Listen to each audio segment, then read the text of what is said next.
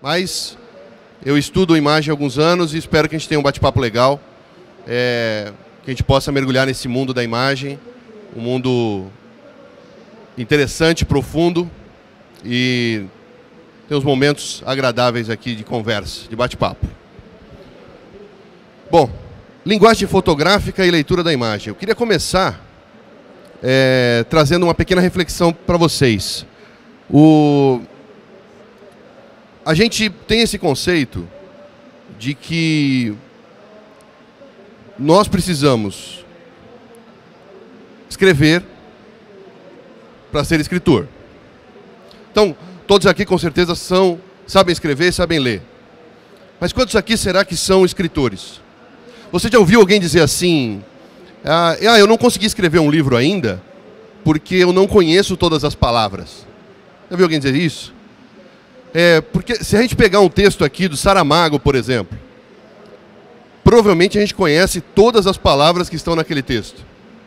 Mas por que será que nós não tivemos a ideia de juntar as palavras daquela forma, daquele jeito, com aquela pontuação e contar aquela história? Então a gente entende que existe uma diferença entre pessoas que sabem escrever e pessoas é, que são escritores. No mundo da imagem, isso é muito parecido. Então o conceito de leitura da imagem, eu parto do princípio que eu preciso escrever algo. Só que eu escrevo com a luz. Será que alguém aqui é incapaz de fazer uma foto? Será que alguém aqui tem alguma limitação que impeça apertar um botão? Mas será que isso te coloca na categoria de fotógrafo? Será que você está escrevendo com a luz?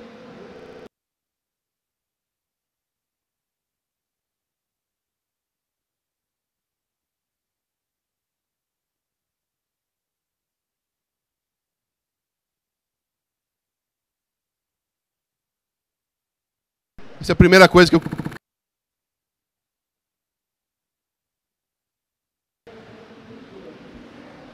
a imagem, ela combina muito, a imagem fotográfica combina muito com o silêncio. Você já parou para pensar que os seus olhos não fotografam? Os seus olhos filmam? Já parou para pensar nisso? Nós temos uma, uma capacidade de armazenamento na nossa memória que armazena muitos filmes na nossa memória. Não é assim? Mas nós não temos a capacidade de fotografar com nossos olhos.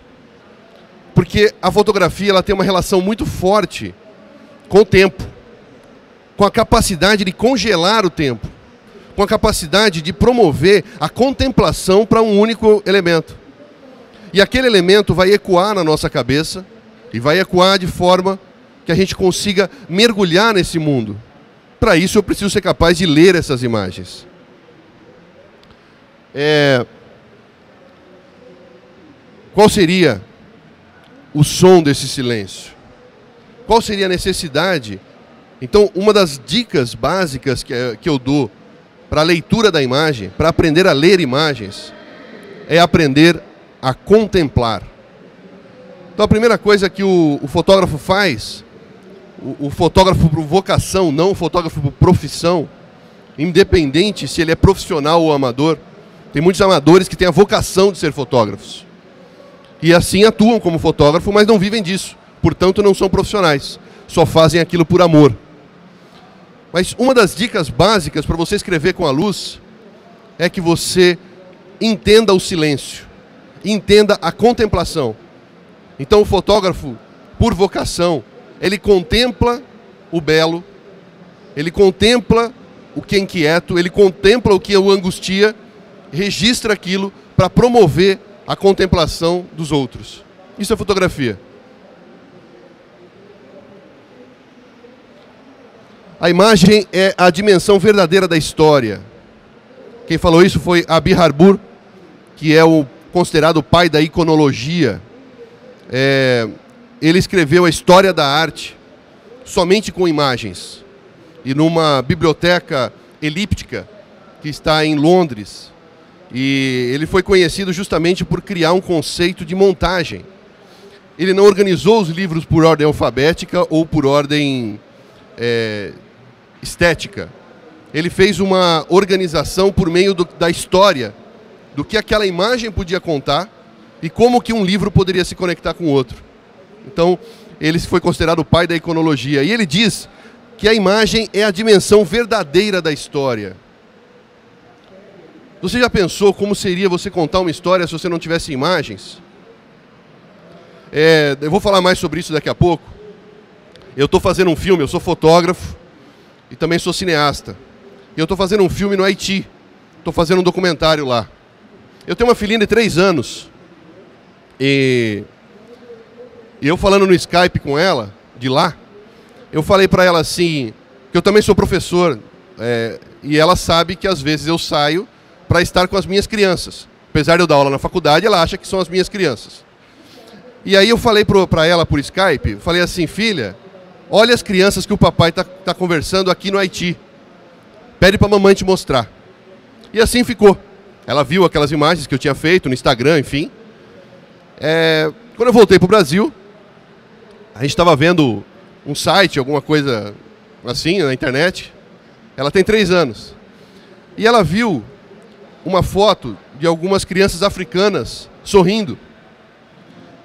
É, crianças negras sorrindo, com uma característica visual muito parecida das minhas fotos. Ela pegou, olhou e falou: Papai, são as suas crianças do Haiti?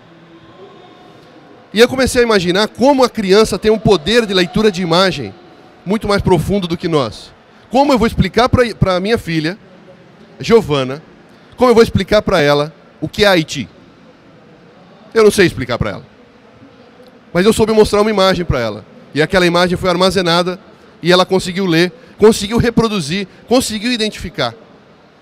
Ao longo dos anos a gente vai perdendo essa capacidade e vai, isso vai nos tornando mais óbvios, mais repetitivos. Nós vamos falar mais sobre isso. É, essa imagem é interessante porque ela transmite, será angústia, ela te transmite um pouco de depressão, ela te transmite um pouco de reflexão. É... Existem os elementos, uma, uma coisa que é importante a gente lembrar na, na leitura da imagem, que isso diferencia, é uma dica legal, é os elementos que estão ditos na imagem, que eu chamo de elementos denotativos, e os elementos conotativos. Vamos lá, vou ensinar vocês. Os elementos denotativos, denotativos de dicionário. Então, os elementos que eu consigo visualizar, os, os elementos que eu consigo identificar. Eu consigo ver uma pessoa, eu consigo ver uma estrutura de concreto, consigo ver uma quantidade de água muito grande, o que provavelmente é o mar. Consigo ver que tem alguns prédios, mas não são muitos, portanto não é um lugar muito é, povoado. Mas tem prédios, também não é um lugar totalmente deserto. É, os prédios estão para lá, então significa que eu estou, pode ser um rio, ou, mas as ondas me indicam que provavelmente é o mar. Para tudo isso, nós somos capazes de identificar da forma denotativa o que está evidente na imagem. Mas e o que é conotativo? O que é subjetivo? O que depende da composição? O que depende do que eu quis transmitir no caso? Eu quis transmitir esse momento de reflexão, esse momento de, de contemplação, talvez. É, e para isso eu busquei essa, esse ângulo, essa profundidade, esse desenho na imagem. O curioso é o seguinte: isso é uma plataforma de pesca, fica em Mongaguá, no litoral aqui de São Paulo. E se eu abrisse um pouquinho mais o quadro, vocês iam ver um monte de gente pescando, uma festa, criança, família. Esse cara é um pescador que ele estava montando, ele estava escolhendo o lugar onde ele ia colocar a sua vara. E ele tava, foi para outro lado, foi para ali, ele debruçou por pouquíssimos segundos é, para ver se ali era o lugar para ele colocar a vara dele. Conclusão: o sentido conotativo é totalmente inverso do, da realidade. É, dificilmente você conseguiu visualizar tudo isso que eu falei, é, que é a realidade, com essa imagem, porque eu levei você a pensar em outra coisa. E aí hoje a gente fica tão tantas pessoas. O que aconteceu? Eu visualizei essa imagem antes dela acontecer. E esperei ele se posicionar nesse lugar para que eu apertasse o botão. Só isso. É... Só que isso é manipulação da imagem? Não. Isso é imagem genuína, mas é manipulação da realidade. Tem alguma coisa de errado nisso? Não sei. Vamos pensar nisso depois. Imagens podem ser enigmas.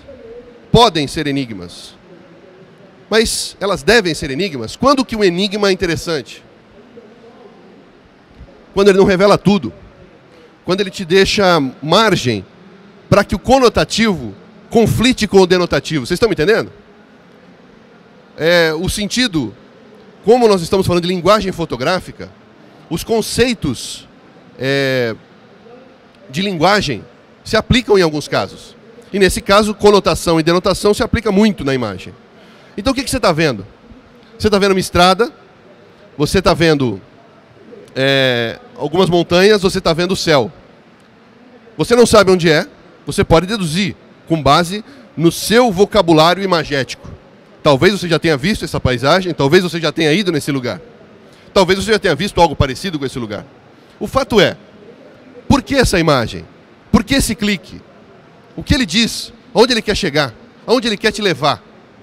Esse enigma faz com que você fique mais tempo pensando na conotação, pensando no seu universo. Esse enigma faz você viajar nesse mundo faz você entrar por essa estrada, faz você identificar com o seu vocabulário imagético primeiro, e em segundo lugar, faz você conectar com as suas emoções. Então a realidade pouco importa. O que importa é a informação.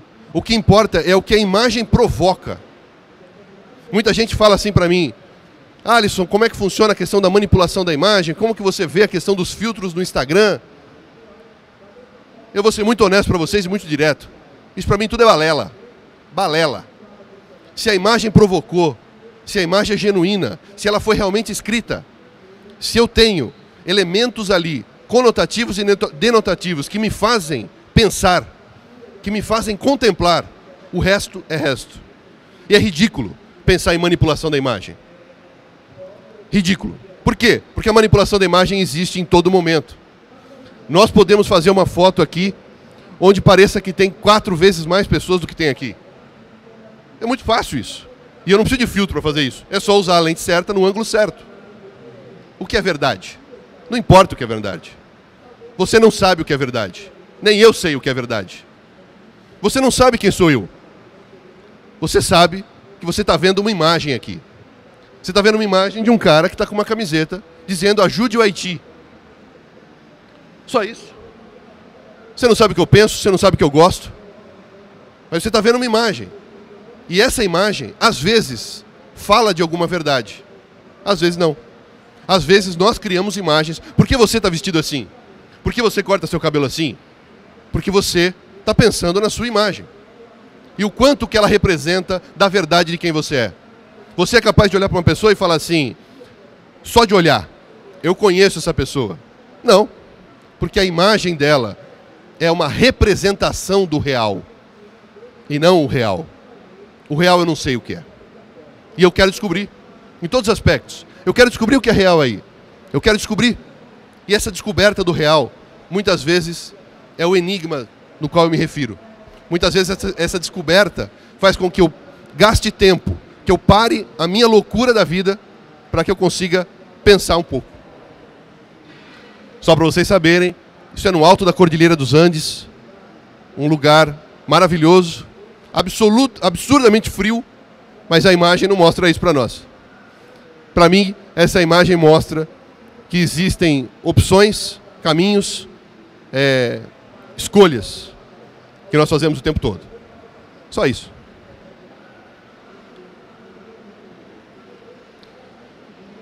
Se as imagens podem ser enigmas, elas devem ser decifradas. Acho que isso tem a ver com vocação, né? Uma cadeira foi feita para ser usada como cadeira, para que pessoas sentem nela. Se eu produzo imagens e elas nunca são decifradas, elas são infelizes. As imagens não ocupam o lugar pela qual elas nasceram, o propósito da imagem. Então, se eu crio enigmas, é muito interessante que eu é, pense em decifrar esses enigmas, que essas imagens possam é, ecoar na cabeça das pessoas de forma diferente. Esse universo da imagem é muito interessante. Os textos também funcionam assim. Existem diferentes interpretações para textos. Mas a imagem, o universo da imagem é muito mais rico. Por quê? Porque o meu vocabulário imagético, eu consigo me comunicar com a minha filha de 3 anos com imagem muito melhor do que com texto. Porque ela tem um vocabulário imagético muito rico, mesmo com 3 anos de idade. Só que a interpretação dela, a forma que ela decifra a imagem, é muito diferente. E a forma que cada um de vocês decifra a imagem também é muito diferente. Isso torna tudo mais interessante. Rapidinho eu vou falar sobre essa imagem. Essa imagem é muito forte para mim. Aliás, até agora eu só mostrei imagens feitas com fotografia de filme. Não usei foto digital. Daqui a pouco eu falo sobre isso. É, não tenho nada contra também. Né? Essa imagem, é claro que eu já dei uma dica para vocês, para vocês decifrarem. A, a, imagem anterior era no alto da Cordilheira dos Andes. Vocês provavelmente já estão matando a charada, que essa imagem é no Peru, na Bolívia ou algo assim. É no Peru. É, sentido conotativo que, que você está vendo? Você está vendo uma pessoa tocando flauta, você está vendo pedra, quase não dá para ver aí a diferença do tonalidade de azul, mas existe uma diferença que indica que ele está no alto e tem uma quantidade de água muito grande abaixo. Ok. O que mais que eu estou vendo? Eu estou vendo a roupa dele, a cor dele, estou vendo alguma, alguns elementos que indicam a cultura dele. Ok. Decifrei a parte denotativa, o óbvio o, o que está aparente, a primeira camada. Agora eu vou para a segunda camada. À medida que você me conhece, à medida que você sabe como eu penso, você vai decifrar essa imagem de forma diferente. Porque essa imagem representa para mim o que nós estamos fazendo com esse povo de uma ilha no Lago Titicaca, Ilha Yamantani. Rapidinho vou contar a história para vocês. Esse lugar oferece uma coisa que chama-se turismo vivencial. O que, que, é isso? Você vai, você viaja numa, num barco, Lago Titicaca, não sei se vocês conhecem, é o maior lago na altitude do mundo. É, ele está na altitude de mais ou menos 3 mil metros. É, e tem ilhas nesse lago. E essa ilha não tem luz elétrica, não tem água encanada. E você vai, viaja um dia inteiro, chega no final da tarde, passa a noite com eles, dentro da casa deles. No outro dia, toma café com eles e volta para o barco na hora do almoço, mais ou menos. Isso chama-se turismo vivencial. E o que acontece? A ilha é sustentada por isso. Só que eles estão criando, essa ilha virou um grande teatro. Esse menino ficou nessa posição de forma totalmente desconfortável. Eu quebrei todos ah, os conceitos de linguagem fotográfica nessa foto. Isso já demonstra que eu, como sou muito técnico, já demonstra o, o, parte do meu sentimento na hora que eu tirei essa foto. Na verdade, quem conhece um pouquinho mais sobre a cultura percebe que ele não está tocando essa flauta. Essa posição não permite que ele toque essa flauta. Ele está numa, numa postura bem desconfortável é, e ele só está ali porque aquilo chama atenção. Pessoas tiram foto dessa cena e dão propina para ele, dão uma esmola para ele. O que, que tem de vivencial nisso? É, ele está encenando é um teatro gigante. A gente dorme na casa desse povo, onde no, na manhã eles oferecem ovo mexido para a gente. Por quê? Porque eles sabem que a gente gosta disso. Eles sabem que os europeus e os americanos gostam disso. Isso não tem nada a ver com entender uma cultura e vivenciar uma cultura. Isso me deixa chateado, porque isso não tem nada a ver com o que eu acredito. Então essa imagem, ela não segue, ela traz um certo desconforto, porque a composição dela é, não permite que eu consiga mergulhar nessa imagem e consiga é, navegar demais nessa imagem. Então, esse desconforto foi parte do que eu quis imprimir para revelar um pouquinho, para indicar um caminho para que a pessoa que está assistindo, vendo, decifre essa imagem. Ah, Alisson, mas esse processo é muito complexo. Eu precisaria conhecer o que você pensa, teria que conhecer o seu trabalho. Sim, é isso mesmo se uma pessoa que nunca estudou arte é, olhar Guernica de Picasso será que vai entender todo o conceito? Será que é possível dar o valor para Guernica se você não conhecer quem é Picasso, a história toda e o contexto onde ela foi pintada? Não é possível. Então, o contexto, mais uma palavra importante para você, sentido denotativo, sentido conotativo e contexto. O contexto na imagem faz toda a diferença. Bom, vou passar outro exercício legal para vocês, que é o conceito de ressignificado. A imagem ela pode proporcionar para mim um ressignificado. Então, ajuda muito na denotação. Perdão, ajuda muito na conotação. Na denotação, o que, que você está vendo? Você está vendo uma ave. Se você conhecer mais sobre aves, você vai saber qual é o nome científico da ave. Não importa. Uma garça. Você está vendo que ela está sob uma estrutura de concreto e está talvez olhando para alguma coisa, não sei o que. É isso que você está vendo, não tem mais nada na imagem. Ok. O que, que você está vendo? Você está vendo uma pessoa com uma câmera na mão, é, com os pés virados para uma direção e o rosto virado para outra. Ele está num lugar, talvez uma fábrica, perto de um rio. É isso que você está vendo. Agora, como que eu trago um outro significado conotativo para imagens óbvias? A simples sugestão do posicionamento, é, eu consigo fazer isso. Quando eu coloco as três imagens juntas, eu acho que vocês mataram a charada. Se não mataram, eu vou ajudar. Essa imagem é de Jânio Quadros, em 1961. Ele estava no Uruguai. Essa imagem ganhou o prêmio Shell de fotografia. Me perdoe, eu esqueci o nome do fotógrafo. É...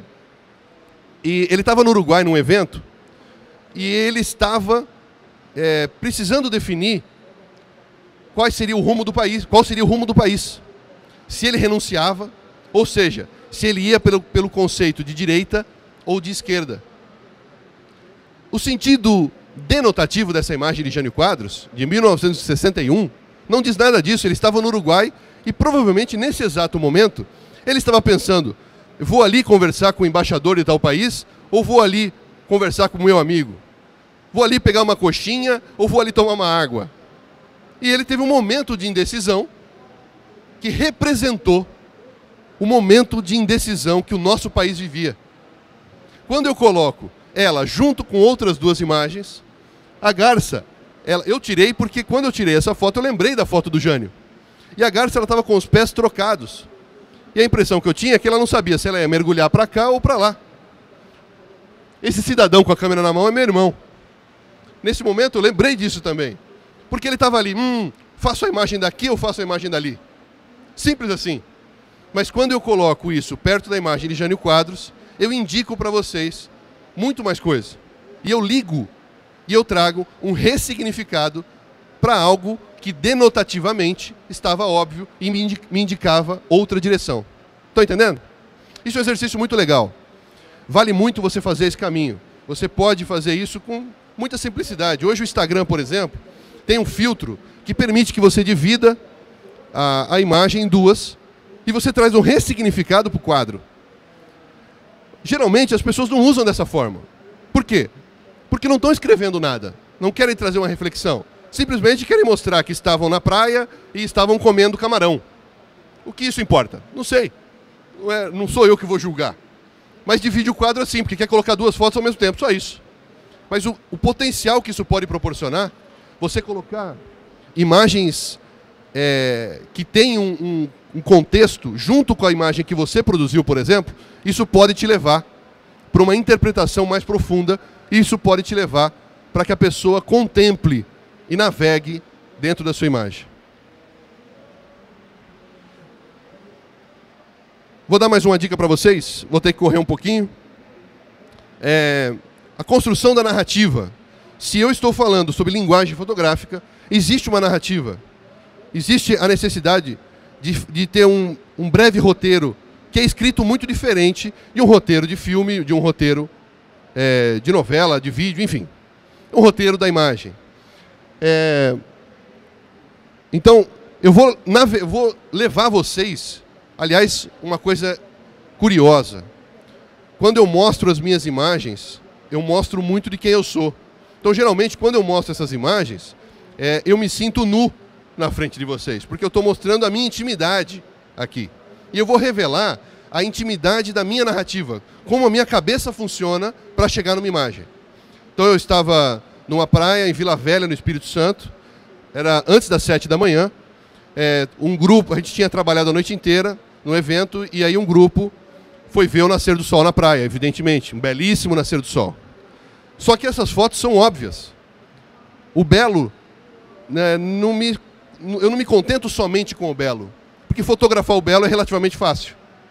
Depois que todo mundo fotografou o pôr do sol, comemorou, não sei o quê, foi todo mundo dormir. Aí eu falei, agora eu vou escrever uma história. E aí que eu comecei a fotografar. Também fiz as fotos do nascer do sol, evidentemente, mas essas eu nem trouxe. Construção da narrativa, conexão dos mundos. Eu achei interessante esse ambiente onde as pessoas estavam com essa luz muito bonita, essa, essa sensação de paz e essa angústia que estava no rosto desses garis. E aquilo foi me levando a entrar dentro do mundo deles.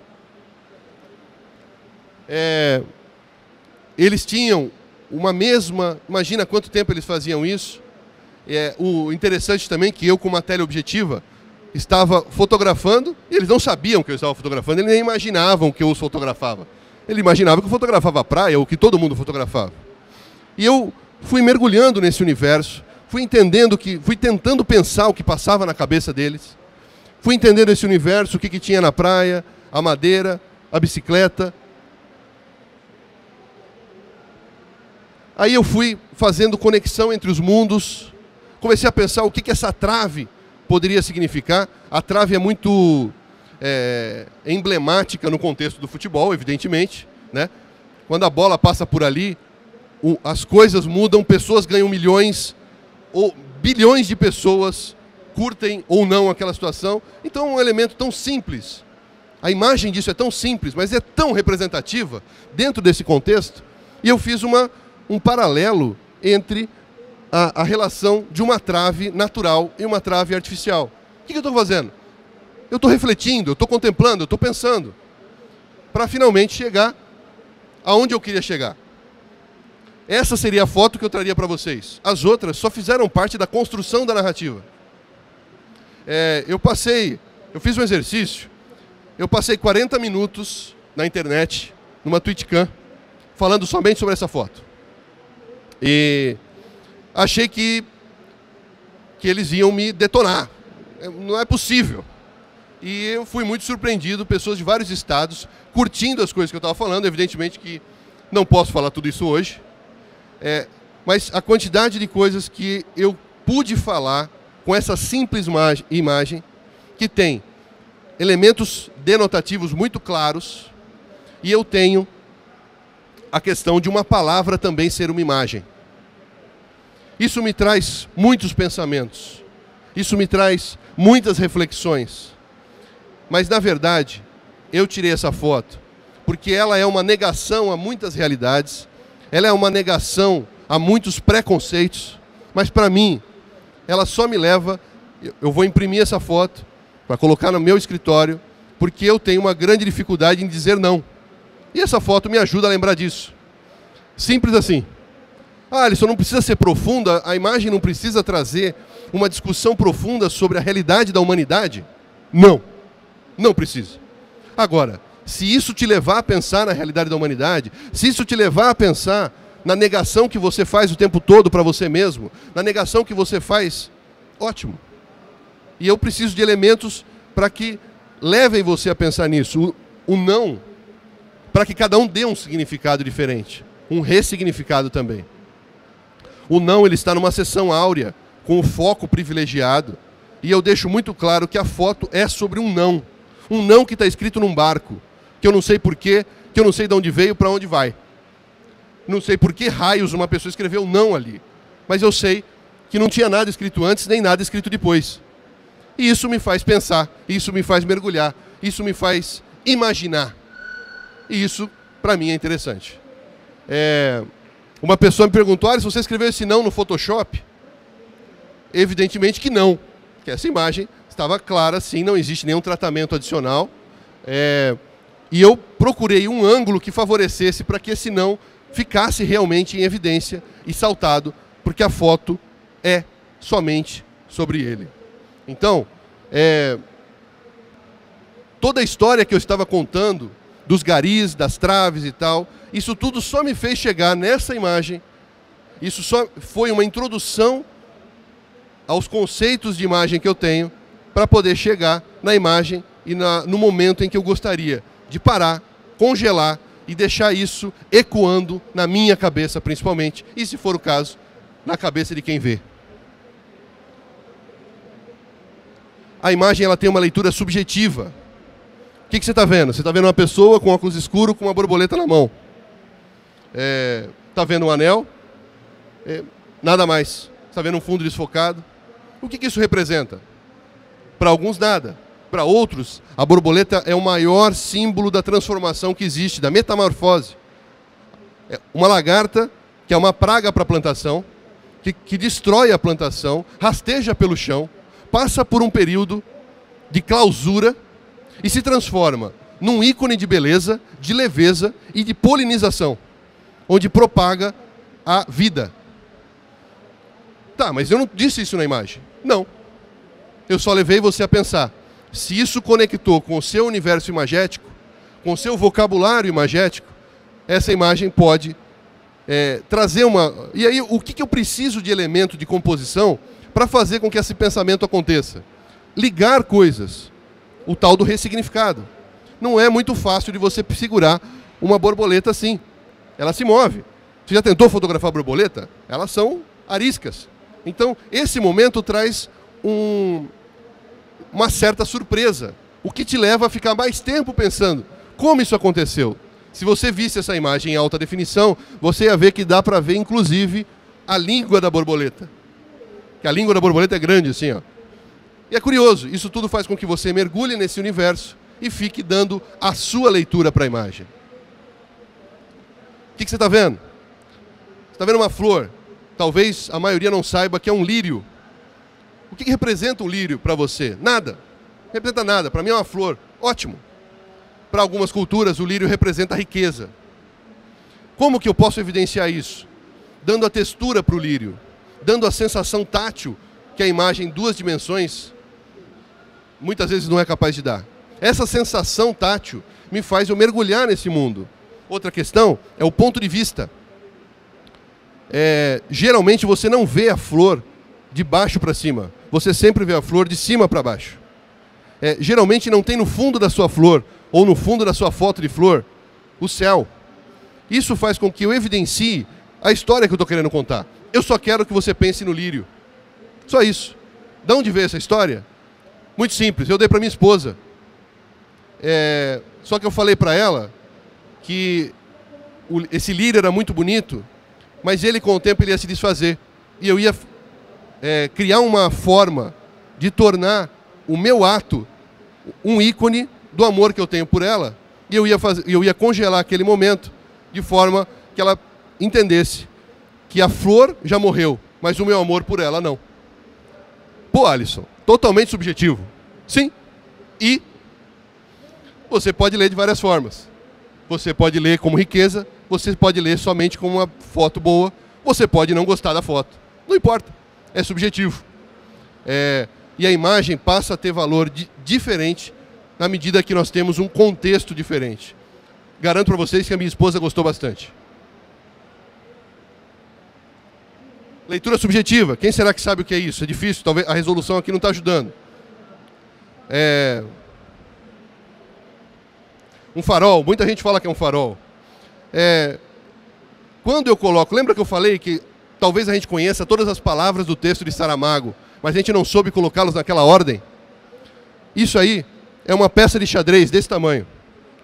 Só que ela em colocar, colocada na, perto do sol, ela te sugere outra coisa.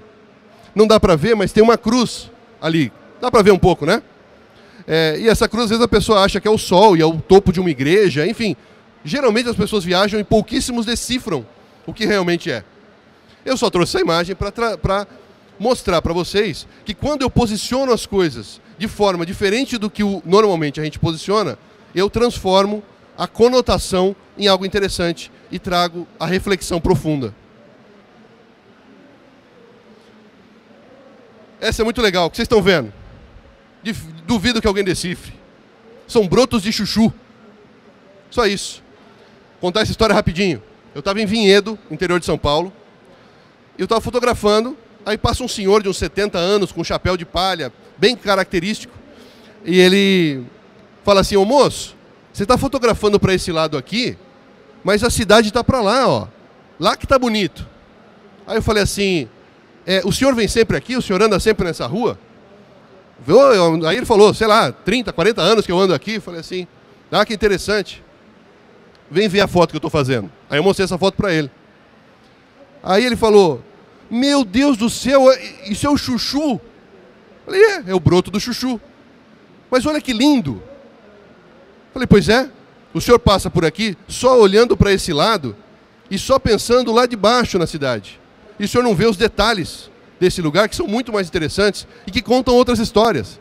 Para mim essa história ficou interessante porque eu acho que são gatinhos conversando. Mas são chuchus.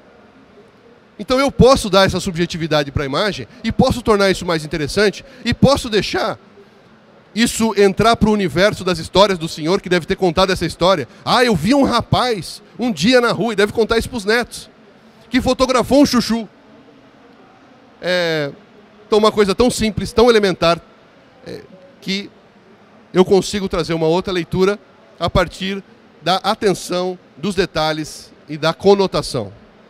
Claro que é muito importante que você tenha a lente certa e o equipamento certo. Sem uma lente micro e uma mão firme, você não faria essa foto. Mas isso é só um detalhe, não é o mais importante. O que está vendo? Uma folha. Se você vê algo além disso, procure rapidamente um psiquiatra, porque não tem nada aí além de uma folha. O sentido denotativo da palavra é isso. Aliás, eu gosto muito dessa expressão é, do teste de Rorschach, que vem da psicologia, para identificar é, quem tem uma psicopatia. Então eu mostro é, imagens abstratas e a pessoa começa a ver, eu estou vendo sangue, eu estou vendo morte. Não está nada ali. Só são imagens abstratas. Isso nos leva a crer que cada um vê o que quer. Então, mas a gente não pode confundir o sentido conotativo do, do denotativo. Denotativamente, o que a imagem mostra é somente uma folha. O que ela te leva a pensar, eu não sei. Eu, por exemplo, gosto dessa imagem porque ela me acalma. Só isso. E apesar de ser algo tão simples, tão simples, às vezes eu fico com vontade de fazer um quadro dela porque o simples é belo e a, textura da folha me faz pensar. A textura da, da folha me acalma. Só isso. Mas é só uma folha.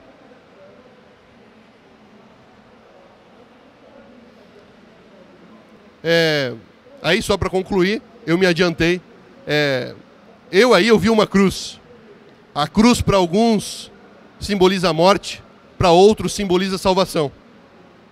Aí é só um pedaço de um bloco visto de cima que formou uma cruz. O que você vê é problema seu. O que eu tenho que fazer é só criar enigmas, é só criar sugestões, é só ir por esse caminho. O resto é você que vai fazer.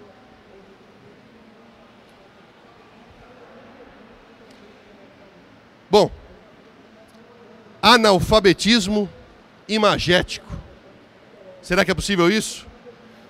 eu já estou concluindo, é, e isso me faz pensar que é possível que nós, mesmo mergulhados no mundo da imagem, mesmo recebendo imagem o tempo todo, experimenta andar por aqui. Olha quantas imagens você recebe. O mundo da Campus Party é absolutamente imagético. Eu não vou fazer essa pesquisa aqui, mas quanto será de vocês que tem uma câmera fotográfica ou que tem um celular que é capaz de fotografar. Será possível que hoje, no período que eu chamo de que eu não, que eu estudo isso, quem chamou isso de pós-história é Willem Flusser. Então nós vivemos já pré-história, história, e hoje nós vivemos um momento onde a imagem prevalece em relação à palavra. Pós-história, ele diz. É possível, na época da pós-história, onde todos nós somos mergulhados em imagens e bombardeados com imagens o tempo todo, é possível ainda termos analfabetismo imagético? Sim. Se você não escreve com a luz e se você não é capaz de ler o que está escrito com o que o outro escreveu, você é analfabeto visual. Se você não alimenta o seu vocabulário imagético, se você não trabalha com a iconologia, com os símbolos, você pode se achar alfabetizado e não ser. Por isso, o questionamento sobre a, a futilidade e a banalidade do Instagram. Instagram não tem nada de ruim, o filtro não tem nada de ruim. O problema são os analfabetos. As pessoas que não querem pensar imagem. As pessoas que não querem contar uma história. Mesmo que a história só tenha significado para mim e para minha esposa. Eu contei essa história e às vezes eu conto essa história para outras pessoas. Se você gostou ou não, é problema seu. Mas eu estou contando uma história. Eu escrevi aquilo. Eu estudei para isso. É, eu estou compondo com os elementos. Eu coloquei o sol no lugar que eu queria. Eu estava andando com a minha esposa no Rio de Janeiro, recém-casado. Aí eu falei, ah, amor, olha que cena maravilhosa. Eu vou fotografar isso aqui. Ela falou, que bom, amor, eu também acho lindo isso. Falei, então tá. E fiquei olhando, né? Não peguei a câmera. Aí ela pegou, amor, você não vai fotografar? Falei, vou. Mas ainda não chegou a hora. O sol não está onde eu quero. Eu vou ter que esperar aqui quatro horas. Minha mulher acho que me ama muito, não é possível não me largar ainda. Eu, ela falou, mas eu falei, não. Vai lá, eu vou sentar aqui nessa pedra e vou esperar quatro horas até o sol ficar onde eu quero para eu escrever essa história. Se a imagem ficou boa ou não, isso não é importante. O importante é que aquela imagem me fez contemplar, me fez pensar e eu fiz outras pessoas pensarem com ela. Mesmo que a minha esposa tenha ficado muito brava comigo. Então, é, o problema da banalidade, do analfabetismo, é a superficialidade. Como seria um mundo sem imagem? Você é capaz de, de desvendar esse mistério? Você é capaz de falar como seria um mundo sem imagem? Eu não consigo pensar nisso, me dá paura pensar num mundo sem imagem. O mundo sem imagem é pavoroso. Ele é abissal. Mesmo cegos têm imagens e pensam por imagem. Você duvida de mim? Você não acha que o cego criou uma imagem do, mu do mundo através do tato, através da audição? Nós só conseguimos ver o mundo e entender o mundo e compreender o mundo com imagens. Portanto, elas são mais importantes. Não mais importantes que a escrita, não é uma, uma competição, mas elas são importantes. Elas são importantes e devem, merecem atenção. Como seria a imagem de um lugar sem imagem? Agora vai dar um nó na cabeça. Aí eu queria pedir dois minutos da sua atenção. Na verdade, dois minutos e 30 segundos. Eu mergulhei no mundo de imagens desse povo. E o que mais me preocupa nesse povo? Eu já fiz quatro viagens para lá, eu estou fazendo o filme é, desde 2010. Eu fui para lá logo depois do terremoto. Vou para lá daqui uma semana novamente. E o que mais me intriga nesse povo é que eles têm dificuldade de ver o belo. Eles vivem no Caribe, numa ilha maravilhosa, mas que infelizmente é cercada de lixo, de corrupção, de dificuldade, de adversidade, de terremoto, de furacão. E o que difere um haitiano do outro é que alguns haitianos conseguem ter esperança porque não perderam a capacidade de sonhar. E eu queria te pedir que você mergulhasse um pouquinho nesse mundo agora num vídeo que eu vou mostrar para vocês.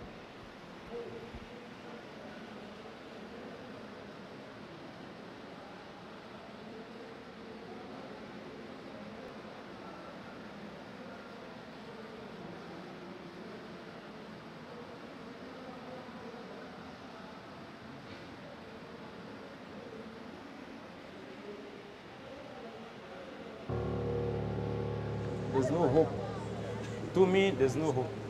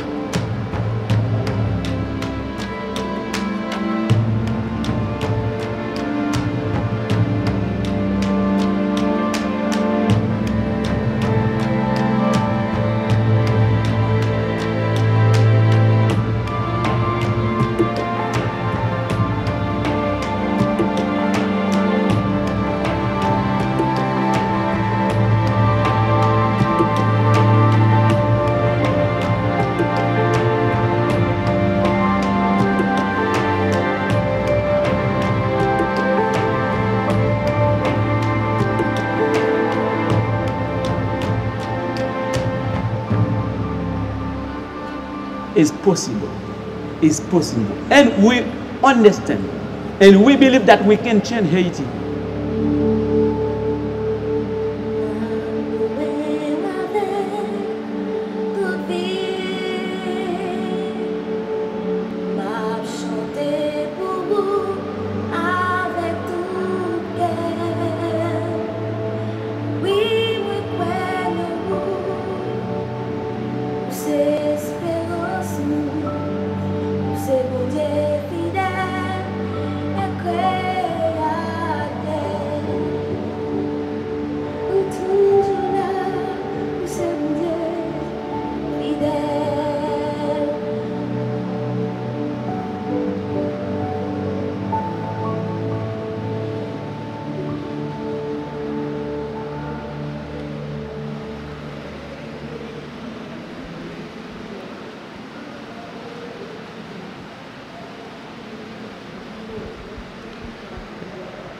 Isso me move.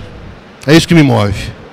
É, eu já passei esse, vídeo, é um teaser do filme que eu estou fazendo. A única mentira que tem aí é que vai ser em breve que eu vou lançar. Eu não sei quando eu vou lançar. Mas eu estou contando essa história no tempo que ele vai precisar ser contado. O tempo que precisar, eu vou levar para contar essa história.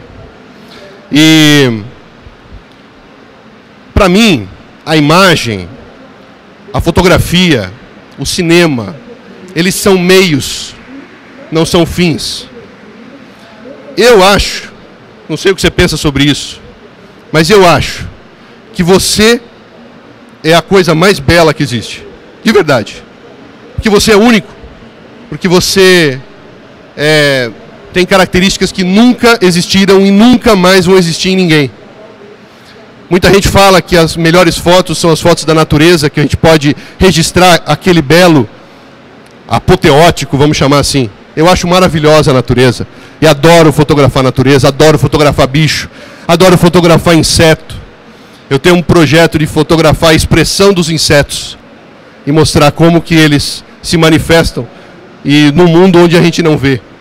Eu adoro imagens abstratas, contar histórias com outra narrativa, mas eu acho que quando eu conto história de pessoas, eu estou no topo.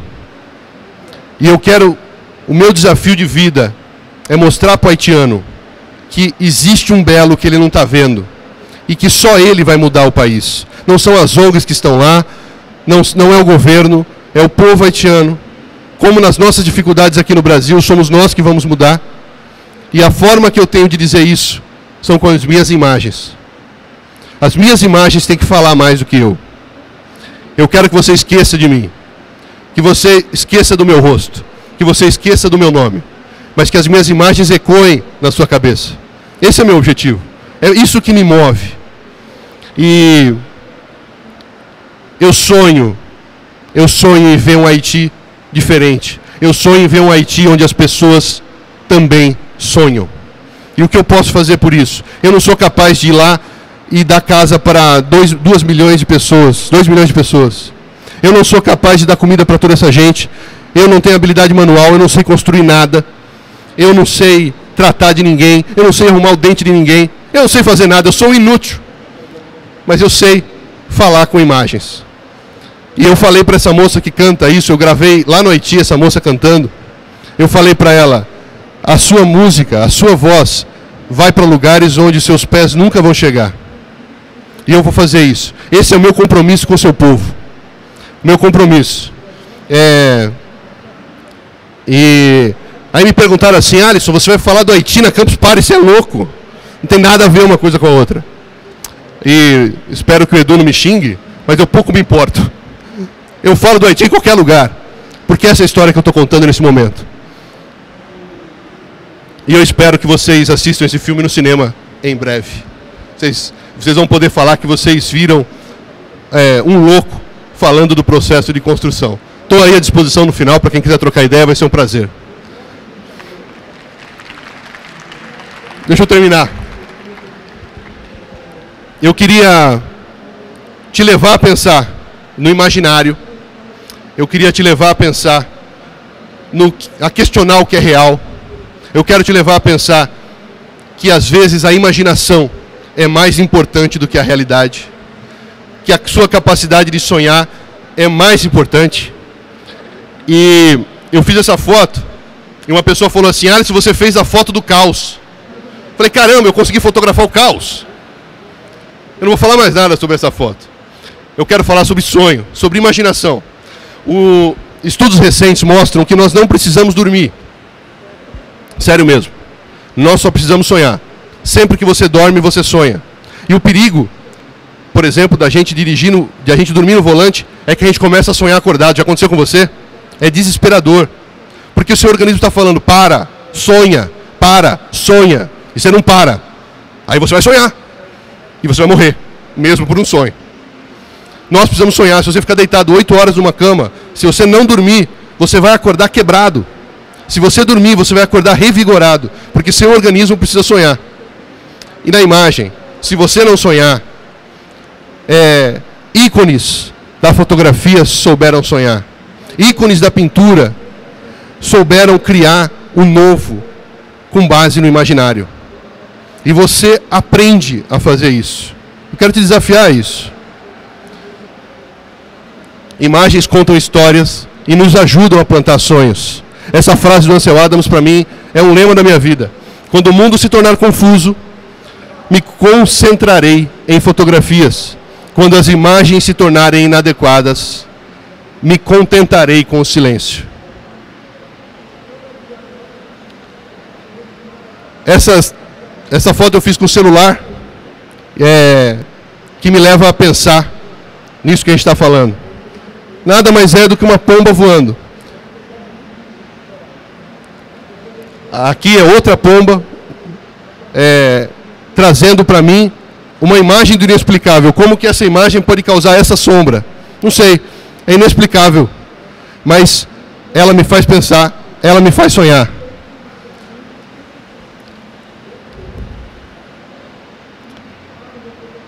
A gente vive um mundo da hiperimagem.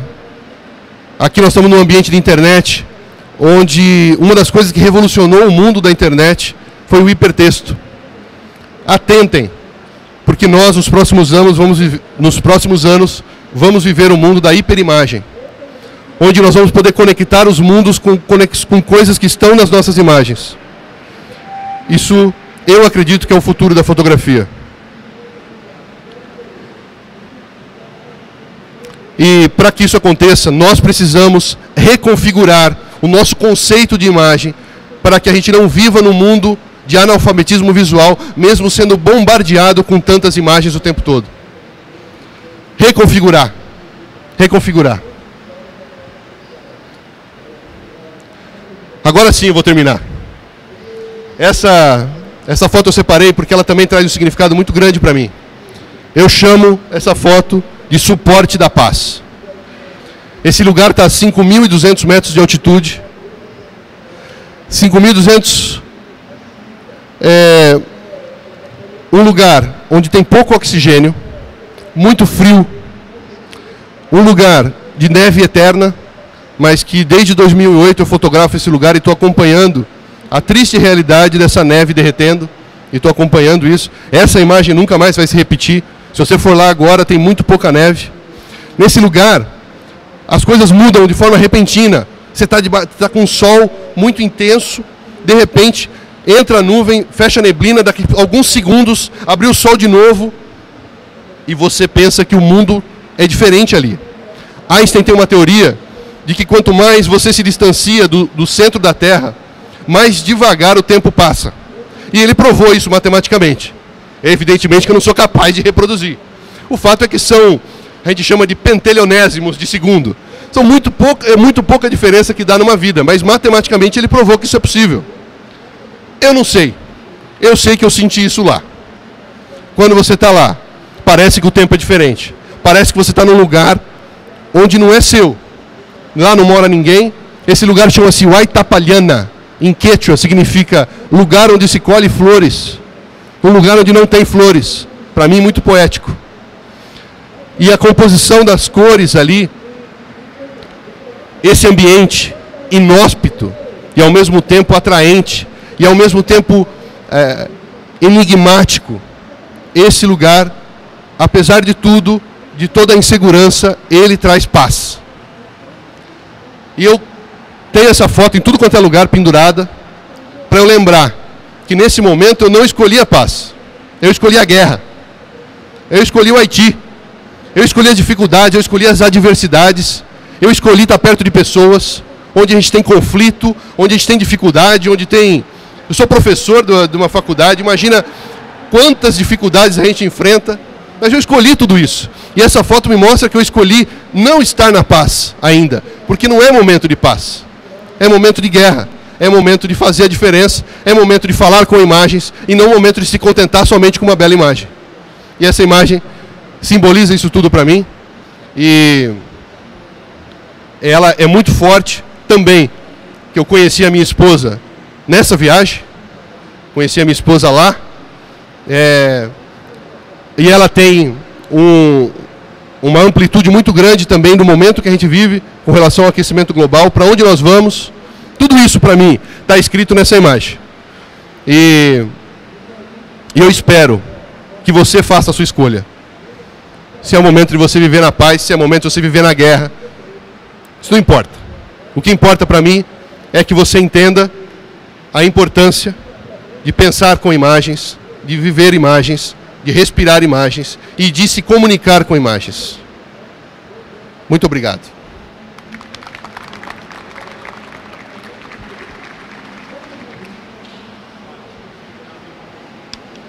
Alguém quer fazer alguma observação, alguma pergunta? Vou ter o maior prazer para responder.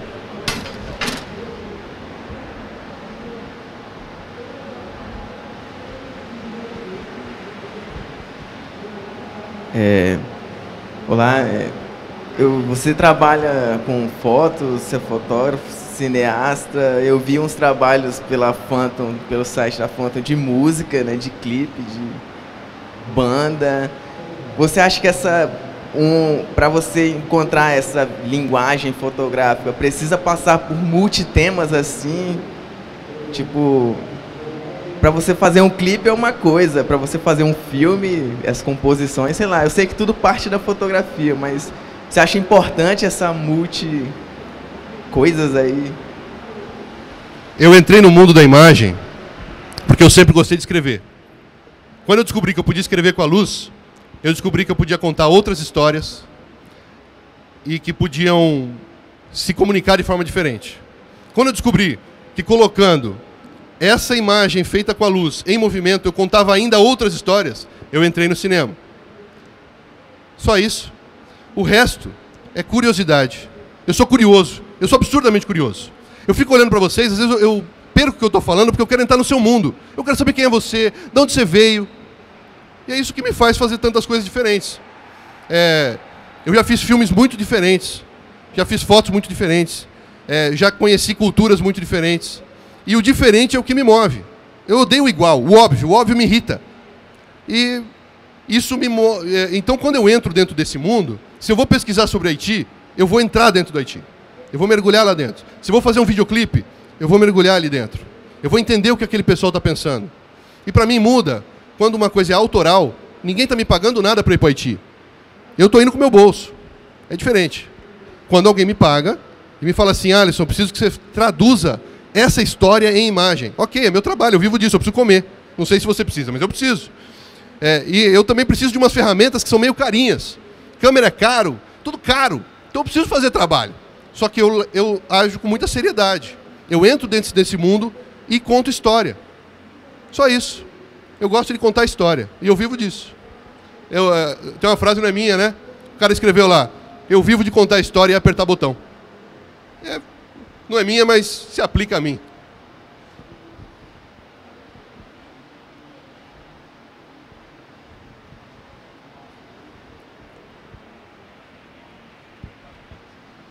É, bom dia. É, eu sei de uma, de uma história que aconteceu lá no Haiti também, inclusive, é, logo depois que aconteceu o tsunami e... Hã? Terremoto, desculpa, confundi as, as coisas.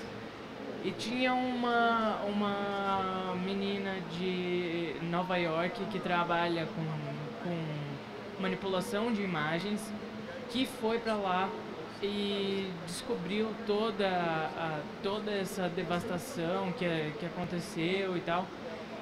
E ela descobriu que ela podia ajudar recuperando as memórias das pessoas de lá, né?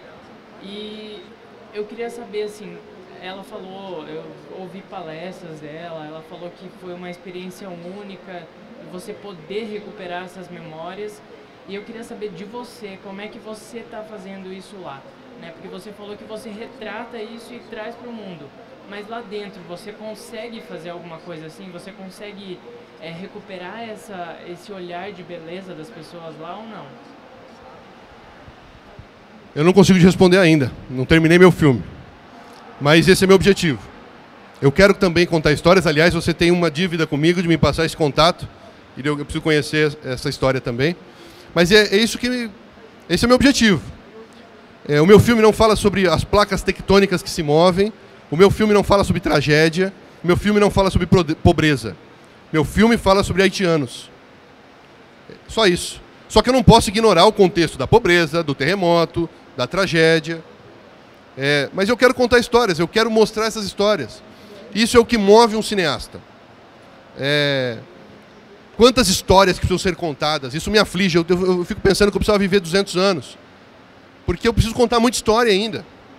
E, então, na verdade, eu concordo com ela. É muito gratificante, muito emocionante. Vale a pena qualquer esforço é, para contar histórias que precisam ser contadas. Né? Agora, se eu estou conseguindo fazer, eu estou acompanhando desde 2010 até agora, eu estou lá, eu vou, visito as mesmas pessoas e estou tentando fazer essa conexão. Né? Mas é um processo muito difícil, às vezes decepcionante, às vezes a gente não consegue as mesmas coisas que a gente espera. Enfim, é sobre essa história que fala o filme. Não sei se eu respondi a sua pergunta, mas é, no fim é o meu objetivo e no fim é o objetivo dela, e acho que tem muita similaridade aí.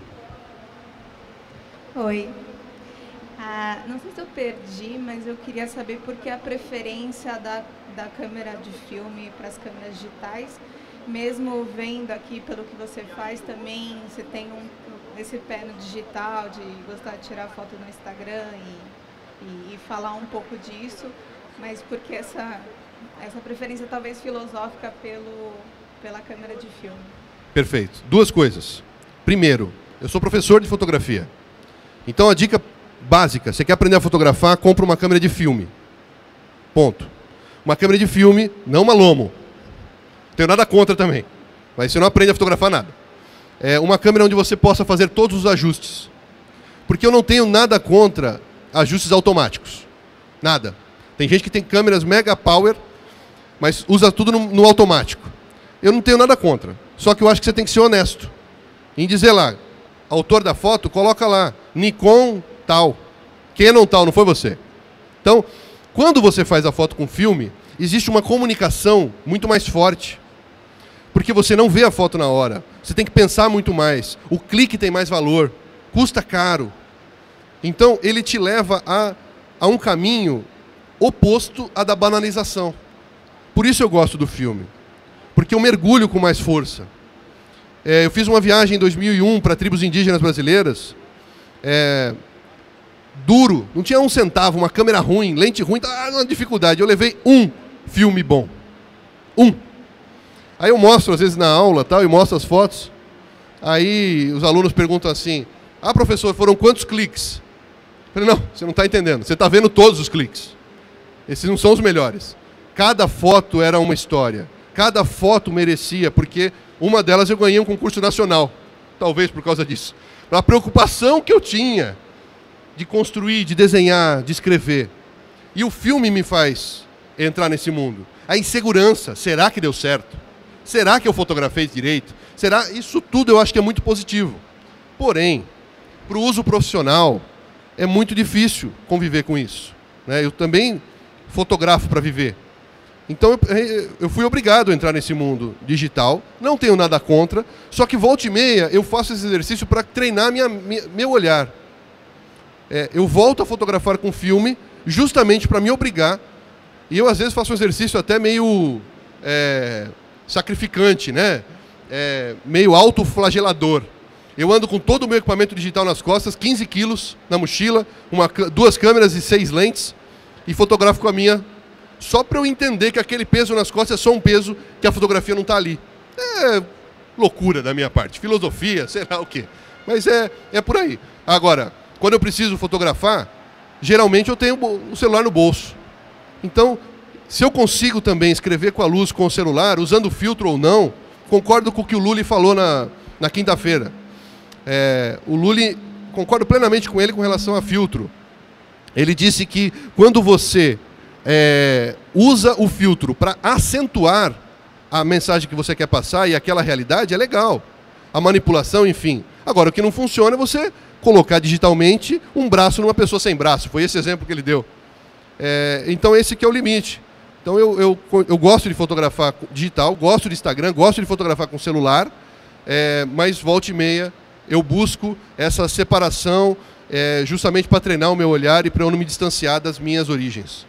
Não sei se respondi. Tudo bem? Tudo bom. Meu nome é Anderson. Eu fui do Corpo de Fuzileiros Navais por nove anos. Eu sei o que é o Haiti. Eu organizei o Seminário de Operações de Paz para a Defesa, em que Ministério da Defesa, toda essa galera envolvida com isso aí. Então, eu sei o que é uma criança comer um biscoito de barro. Se alguém não sabe o que é uma criança comer um biscoito de barro, essa é a realidade do Haiti. Então, é, uma coisa que eu já quero ver contigo é se você tem conhecimento do trabalho que o Corpo de Fuzileiros, Fuzileiros Navais faz no que se refere a relações públicas, que existem é, esforços do Corpo de Fuzileiros Navais para poder receber pessoas como você para fazer esse intercâmbio. Existe uma assessoria de comunicação social para fazer esse trabalho, inclusive, se for o caso, de uma possibilidade de parceria de você ir embarcado ou ir com a- os efetivos do Corpo de Fuzileiros Navais e, inclusive, ficar na base Raquel, acadêmica Raquel de Queiroz, que é a que fica lá. Então, às vezes, a gente não tem a informação, mas às vezes a gente tem a vontade de fazer. A operação de paz que é feita no Haiti, quem é capitão dessa operação de paz é o Brasil. Tá? Então existe uma base de fuzileiros navais segura, uma base de fuzileiros navais saudável e que leva paz e segurança para o Haiti. Eu te dou essa certeza, porque eu servi no Corpo de Fuzileiros Navais. Então eu te garanto, se você for na assessoria do Corpo de Fuzileiros Navais, eu te garanto que alguém vai te ouvir, que vai ter um oficial que vai te atender e que vai te dar o apoio para você fazer isso. Hoje eu não estou mais no corpo, opção particular minha, hoje eu também sou professor, mas essa experiência que eu vivi, eu posso te falar isso. Obrigado pelo seu trabalho, isso é muito importante. Eu, eu que agradeço. Como é que é seu nome? Anderson. É, eu conheço o trabalho que os brasileiros estão fazendo lá, na Minustah. A base de fu- fuzileiros navais, em especial, não conheço. Eu conheço o pessoal do Brabate. Estive lá, toda vez que eu vou, eu fico lá, tenho bons contatos ali. É, eu escolhi não utilizar essa possibilidade por uma questão ideológica. Eu quis dormir com eles, eu quis vivenciar com eles realmente, dormir no chão, dormir ao relento no quintal de uma casa. As três vezes que eu fui, as primeiras três vezes. Mas simplesmente para ter essa conexão. Né? Mas eu acho, inclusive, quero te parabenizar por esse tempo, quero te parabenizar por essa postura. É, eu acho, inclusive, que o Brasil devia acordar, porque nós temos que exportar isso que nós temos, que o brasileiro faz um trabalho belíssimo. É, pena que muito brasileiro não vê dessa forma e acha que a gente tem dificuldades aqui no Brasil e que a gente não tem nada a ver com o problema do Haiti. Que gastar milhões lá é um desperdício. Eu não concordo com isso e eu gostaria que o meu trabalho também fizesse a população a mudar de opinião. No meu filme eu, eu vou abordar sobre esse assunto também. O trabalho dos brasileiros é exemplar. Eu não estou falando isso porque o Anderson está aqui. É, quem já ouviu outras palestras minhas, outras coisas, sabe que, que eu já falo isso em outras ocasiões. Então, eu agradeço o contato e quem sabe até posso até entrar em contato numa próxima viagem, que eu vou agora semana que vem, né? Mas é, é inquestionável, é inquestionável o trabalho dos brasileiros lá e eu sei dessa questão da segurança, da infraestrutura, de tudo isso. Mas parece meio masoquista, mas eu escolhi fazer diferente, entendeu? Para que isso é, ficasse impresso em mim, né?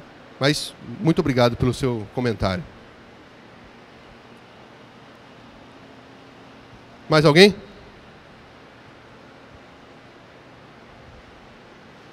Bom, eu espero que você me dê o privilégio de continuar essa conversa online. Por favor, vai ser um prazer para mim. Eu tenho uma, um problema muito grande com o fator tempo, por isso também sou fotógrafo, que eu preciso congelar o tempo, mas não consegui isso na minha vida ainda. É caótica a minha vida. É, é, eu moro em Praia Grande, dou aula em São Paulo, estudo em Campinas e tenho uma produtora, viajo para vários lugares. É, eu não sei por que eu sou tão insano assim, mas eu quero continuar essa conversa com você, tá bom? Mais uma vez, obrigado a todos vocês, obrigado Edu, obrigado pessoal aí da organização. E bom final de Campus Party para vocês.